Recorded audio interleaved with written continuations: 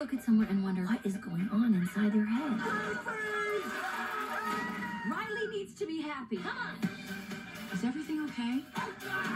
We can fix this. Nothing's working. Why isn't it working? Hang on. What's Hoover T?